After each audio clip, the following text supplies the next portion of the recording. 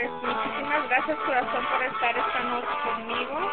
Felicidades, mañana es tu cumple, que te la pases hermoso. Gracias. Que te adoro, mañosita. Yo también te adoro. Yo la adoro Anita, le deseo lo mejor del mundo, es un recuerdo. Ah,